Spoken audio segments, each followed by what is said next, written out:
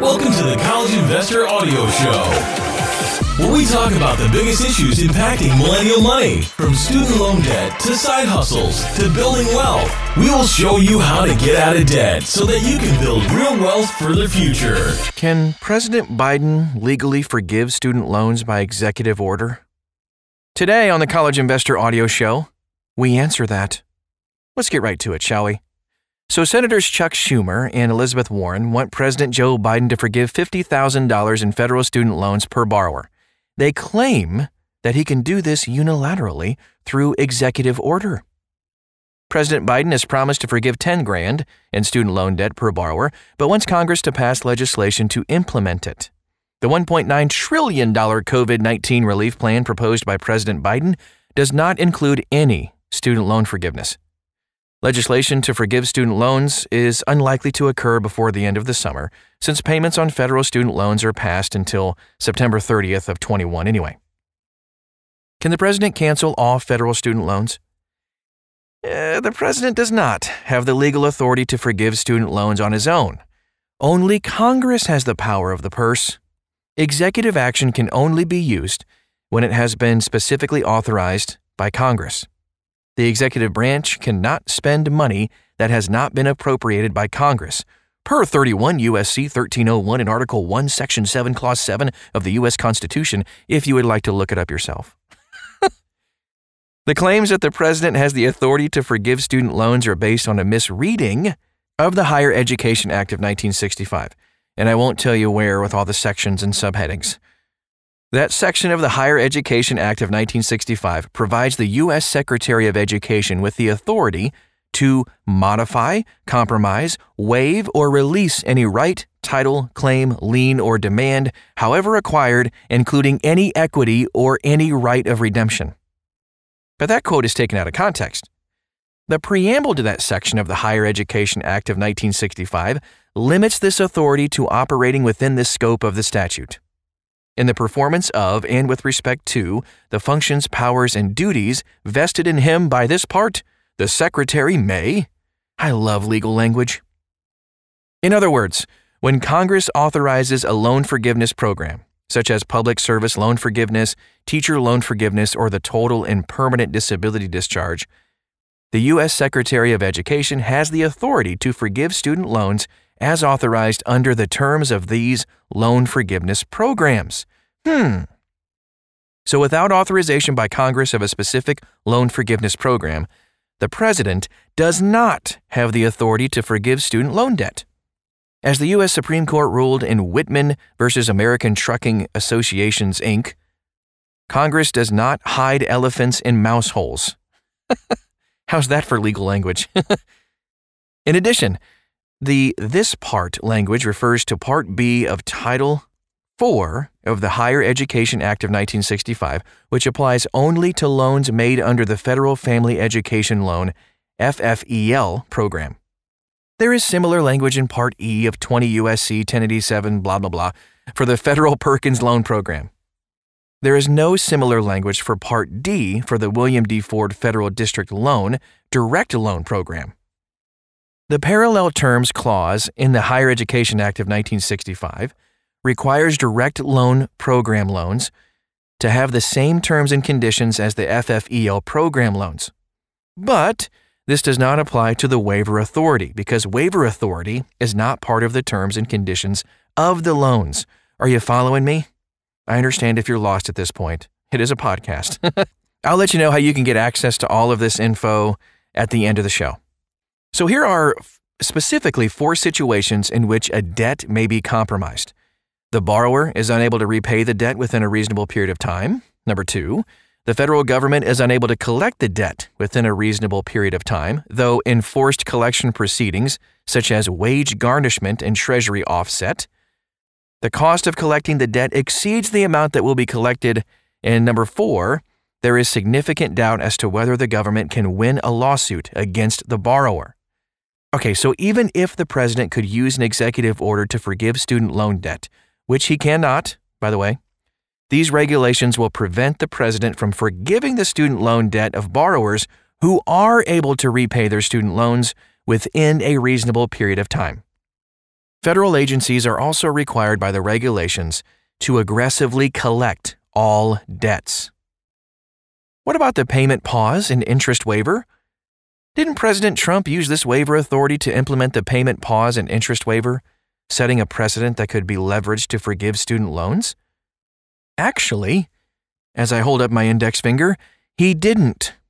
The August 8, 2020 Executive Memorandum referred to appropriate waivers of and modifications to the requirements and conditions of economic hardship de- deferments described in Section 455 F2D of the Higher Education Act of 1965, as amended, and provide such deferments to borrowers as necessary to continue the temporary cessation of payments and the waiver of all interest on student loans held by the Department of Education until December 31st, 2020.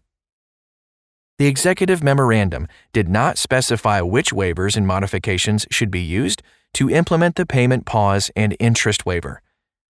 The definition of the economic hardship deferment allows the U.S. Secretary of Education to define new eligibility criteria, but this isn't necessarily sufficient, since it requires the U.S. Secretary of Education to consider the borrower's income and debt to income ratio as primary factors when establishing new eligibility criteria.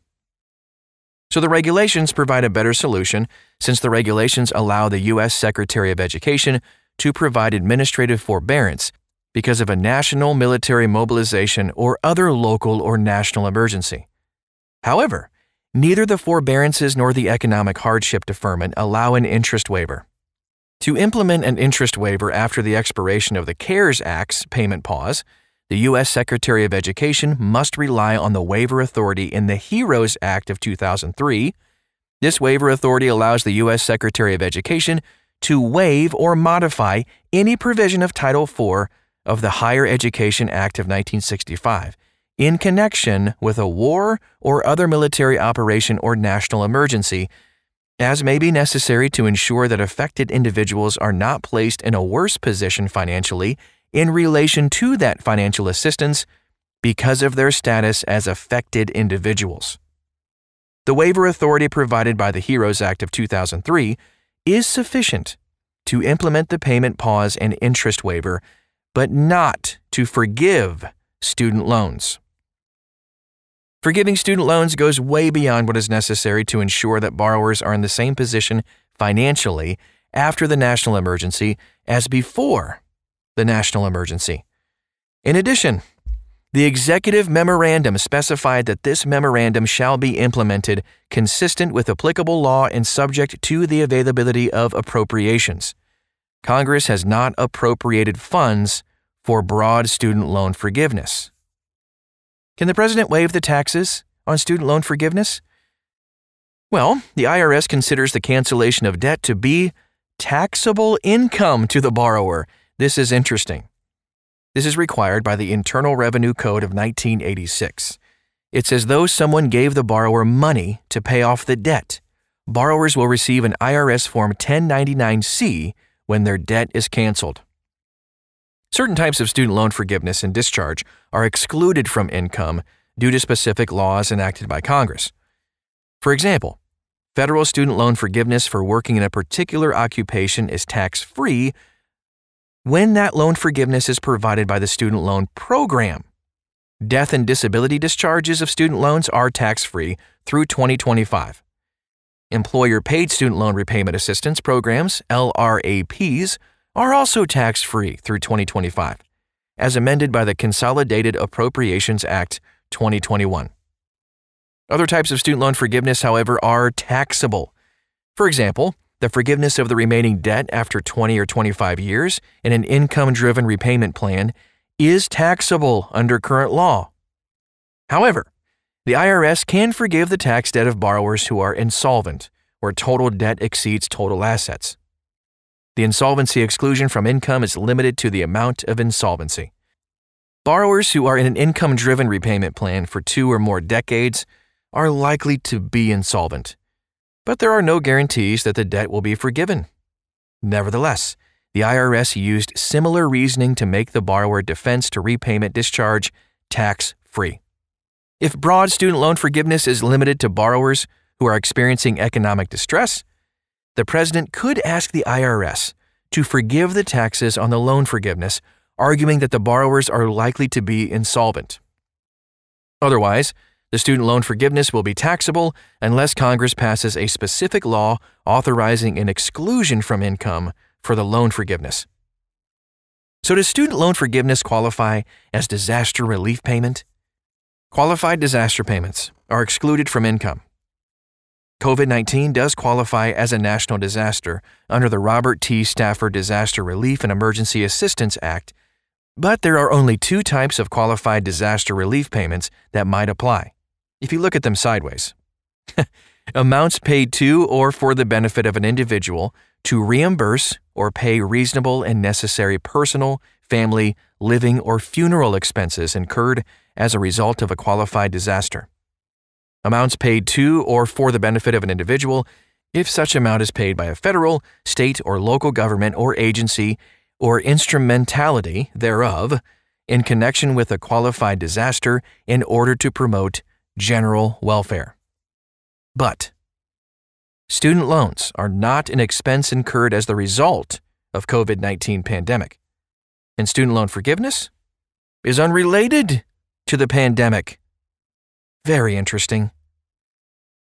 Now, that was 11 minutes that could have been very confusing because of all the legal jargon. So please find this article at thecollegeinvestor.com. Just type in the words President Biden student loans.